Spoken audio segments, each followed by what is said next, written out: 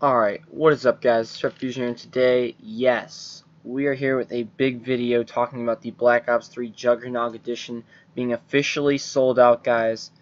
It, it, it was, I'll show you guys here, actually, right here, um, on the Activision support page, they were, they did answer the question, and the question was, is the Juggernog Edition sold out? And the, they're like, yes, this was a limited edition version that, due to extremely high demand, sold out quickly, Additional collector editions such as the Hardened digital deluxe editions are available for pre-orders at select retailers. So basically, guys, they're sold out at all real retailers.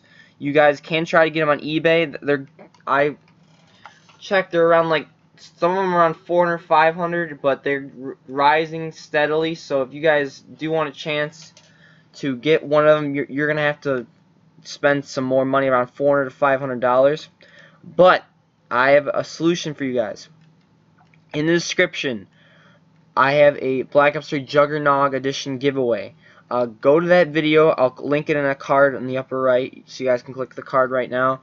Or you can go. I'll also have an annotation. Also in the description, I'll have the video.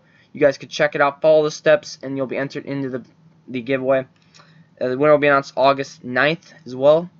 But this is some sad news, honestly. Uh, you know, thank God I got mine in time. But for all you people that you know, the only way you're going to be able to is you're going to have to spend some even more money, like around 400 $500, and it's going to keep going up and up the, you know, closer we get to Black Ops 3.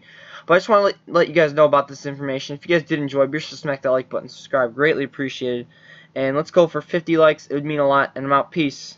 Thanks for watching. Uh, Juggernog Edition uh, video, I'll link in the description, it'll be in the card in the upper right, and it'll, there will be an annotation. Peace out.